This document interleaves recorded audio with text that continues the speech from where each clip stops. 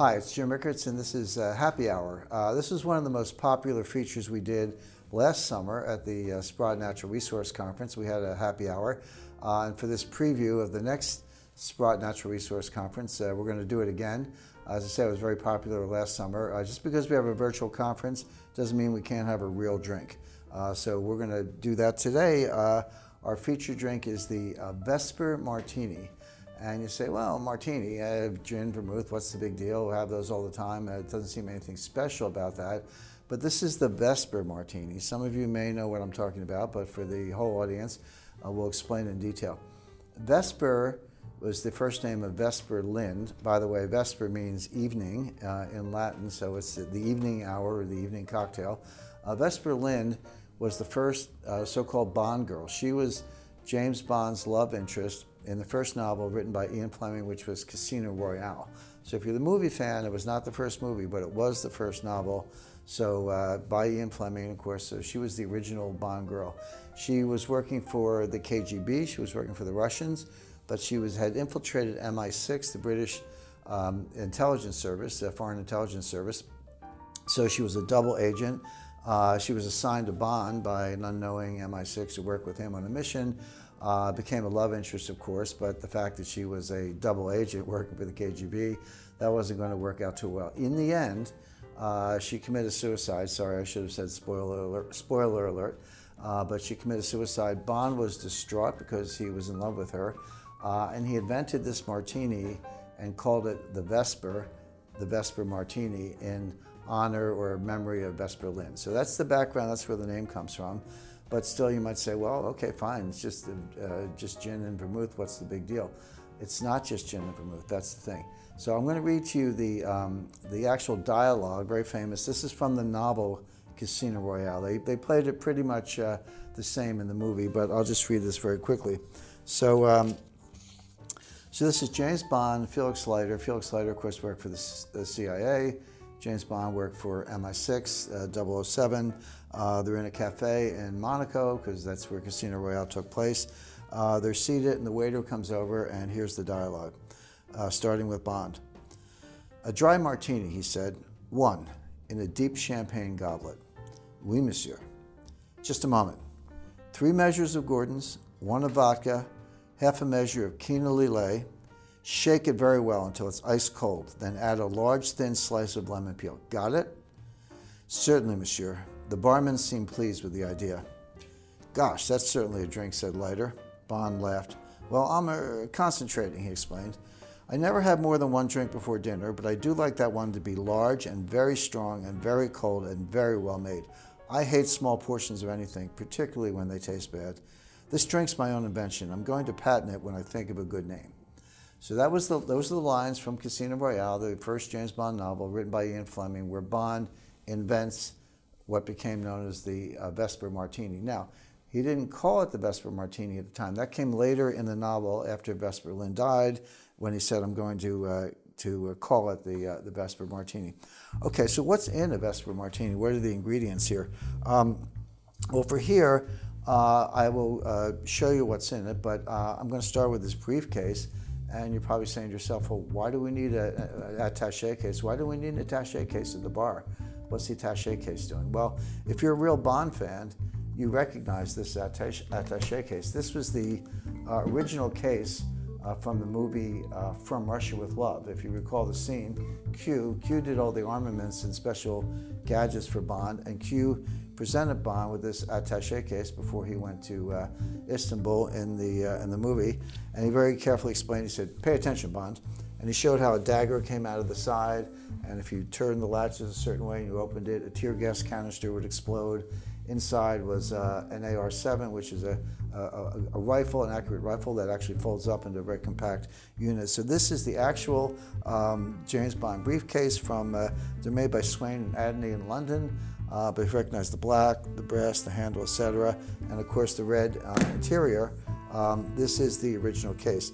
Now, one of the things that Bond had in the case, in addition to the AR-7, uh, he was given 10 British gold sovereigns uh, by the Her Majesty's Treasury uh, to, you know, use for bribes or getting out of trouble or whatever. Uh, we have, sir, we have 10 Uh, these are not sovereigns, these are American Gold Eagles, but they're one quarter ounce. They're not the one ounce eagles that you may be familiar with. They're, they're one quarter ounce eagles, but they're eight grams, roughly the size of a British sovereign. So updated for the 21st century. We've got the, uh, we've got the 10, uh, 10 gold coins that James Bond had in his briefcase. Sorry, and as I mentioned, this is the uh, original briefcase. But I left out the tear gas and the weapons, or at least I hope I did. And uh, inside, we have the ingredients of the uh, Vesper Martini. Um, one of them is Lillet. I'll put it right here. Notice I have two kinds of gin. I'll explain why in a minute. There's Bombay gin, Gordon's gin, bitters, and I'll explain all this. So uh, again, you recognize the original case with the leather straps and the red lining, etc. But this is a uh, James Bond. Uh, uh this is authentic. Uh, it's the real one from London, and so we'll put this aside. But just that we add to the James Bond uh, allure with that briefcase. Now let's get down to the drink. What's in a Vesper Martini? Well, I have the uh, ingredient list right here. And this is uh, from, uh, well, we actually know because James Bond said it uh, Gordon's Gin, vodka. He did not mention the brand of vodka, but he did say vodka.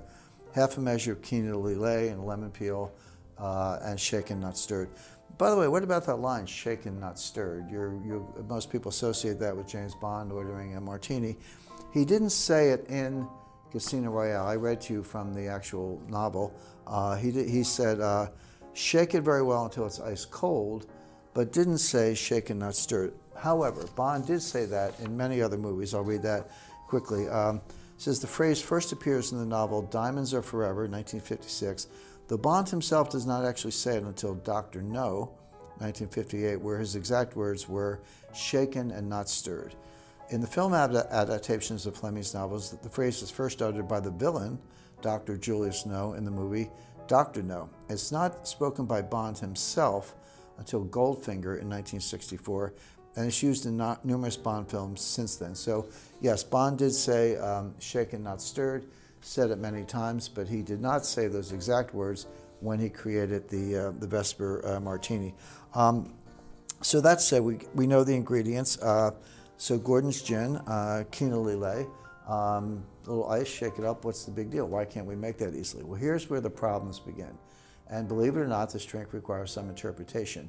Lillet, and I have it right here, uh, has been made by the Lillet family. It's a brand, uh, but it's also a particular uh, drink. It's a fortified wine, as they call it, white wine with a lot of botanicals and gardens, uh, garden uh, uh, herbs and, and, and so forth.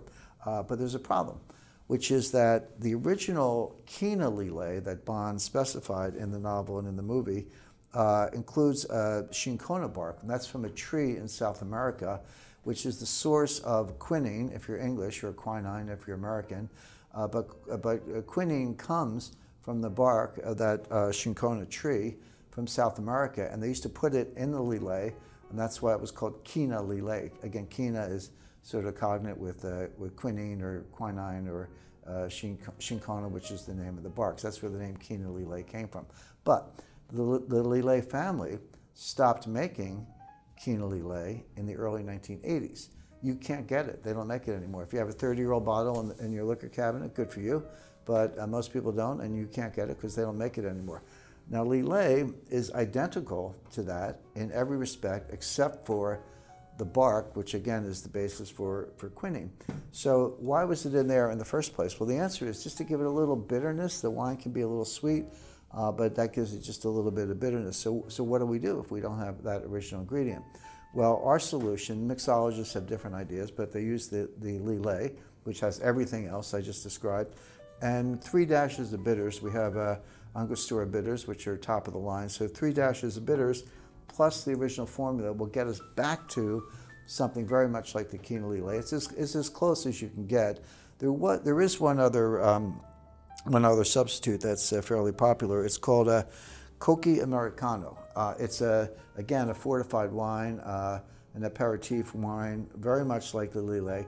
It actually has uh, the bark of the uh, cinchona in it, so it has the original formula, if you will, of quinoa lillet. Uh, I tried getting it, uh, went to a huge liquor store. They said, well, we, we know what you mean, but we'd have to special order it. We don't have it. So you really have two choices. You can use lillet with bitters, and that gets you very close to the quinoa lillet, or order this uh, uh, Americano. Uh, get it white because there's a rosé version, but get the white.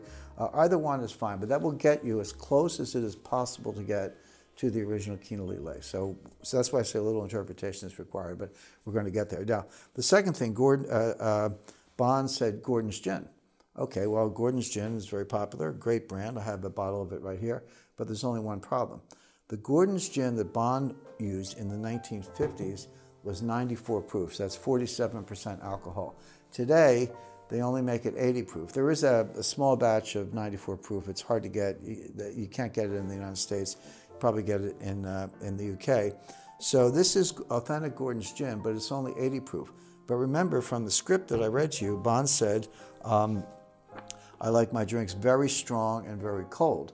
So if Bond was using 94 proof vodka in the 1950s, uh, sorry, gin, I'm talking about the gin. If he was using 94 proof gin in the 1950s, we want to use 94 proof gin today because we want to be as authentic as possible to what Bond was actually ordering in the 1950s. So if Gordon's won't cut it because they, they dilute it with water, it's only 80 proof. Uh, you can get uh, you can get 94 proof gin. Uh, it's right here, Bombay Sapphire Sapphires, a couple others. Tanqueray has it. Uh, so what you want is a very high quality gin with good botanical elements, a good flavor of gin, but you want it to be strong. It's basically 47 percent alcohol, 94, uh, sorry, uh, 94, uh, that's right, 94 proof, 47% alcohol, but that's what this is. So this is 94 proof. So this is the alcohol content of the original Gordon's that Bond was using in the 1950s. So with the Lillet, the bitters, and the Bombay vodka, uh, sorry, gin, I keep saying vodka, but the, uh, with the gin, the, the sapphire gin, we get back to the original formula as close as we can. Now there's one other ingredient, and again, this is subject to interpretation which was vodka. Remember, that's why it's not the ordinary martini. You have uh, um, uh, vodka martinis and gin martinis. The great thing about the Vesper martini is it has both. So let's talk about the vodka for a second. Now, there, Bond did not specify a brand. Obviously, you want something uh, premium quality. But in a later um, uh, part of the book, um, I'm quoting here, in the same scene, Bond gives more details about the Vesper telling the barman that the vodka made from grain instead of potatoes makes the drink even better.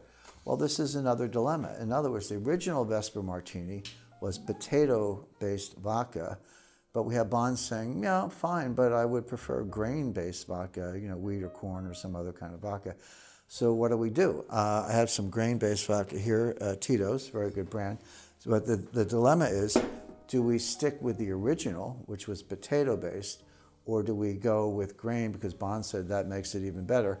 Uh, it's a judgment call. Uh, i am going to go with the potato because we're trying to go as close as possible to the original. And besides that, uh, Bond did say Bond always drank Polish or Russian vodka. So uh, what I have here is uh, um, the Luksusowa. Uh, it's, it's Polish, which is pretty close to Russia, but more importantly, it's potato vodka and it's good quality. So we're, uh, as I say, there's a lot more interpretation here than you might expect, but with the bitters added to the Lillet, with the Bombay 94 uh, uh, proof uh, vodka instead of the Gordon's 80 proof, and the Polish uh, potato vodka, we're as close as you can possibly get to the original, bearing in mind that you can't do the original because the ingredients no longer exist. But I think we're there.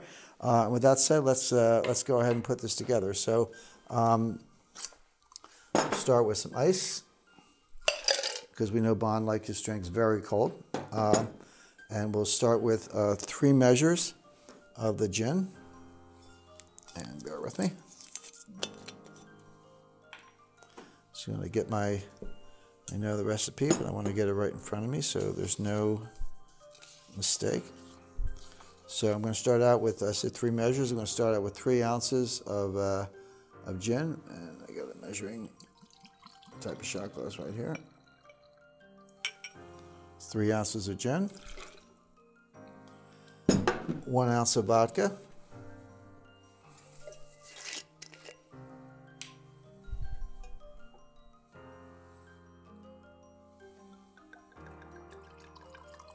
Got to get this just right. There's one ounce of vodka. A half ounce of the Lillet. This is a little on the sweeter side, but it's supposed to be. Now, get a grip on this because these twist off caps aren't always easy. Well, let's, uh, the wonders of, uh, of uh, TV interviews. You never know what's going to happen, but uh, remove this cap. Well, this is hard to get into. It's like breaking into Fort Knox and Goldfinger. Okay, so uh, half ounce of quinoa. Let's get that right.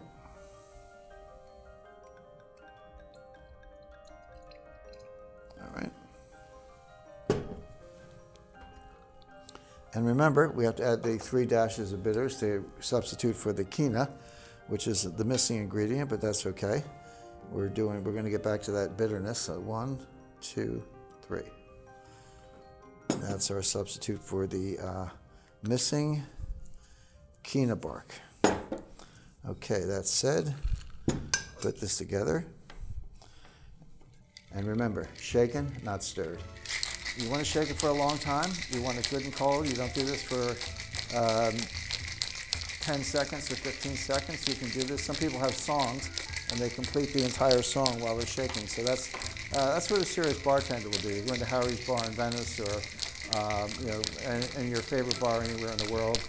Uh, a good bartender will do exactly what I'm doing now, which is really shake it up extremely well.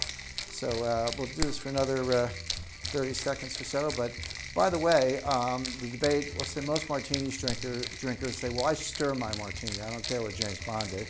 James Bond um, insisted on shaken, not stirred.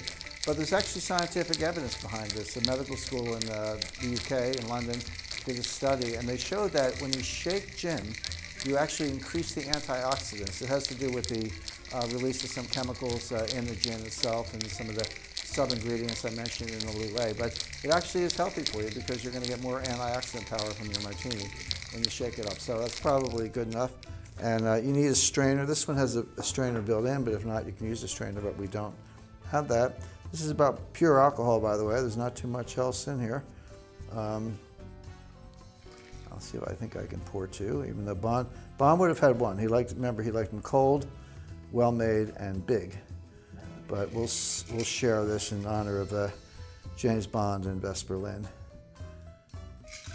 And one last act, coup de grace, which is the lemon uh, peel, not a uh, not a wedge, but just a lemon peel, and there we are. So this is, uh, to the extent it's even possible today in the 21st century, this is the closest to the original, authentic Vesper Martini. And here's to the uh, success of the uh, Sprott Conference, and here's to James Bond the Vesper Lynd. Delicious. It's very good. Hope you enjoy it. You can make this at home.